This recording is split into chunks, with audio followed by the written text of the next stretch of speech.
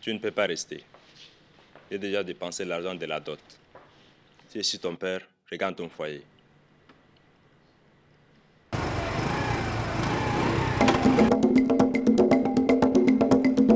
Papa, tu as vu ce qu'il m'a fait?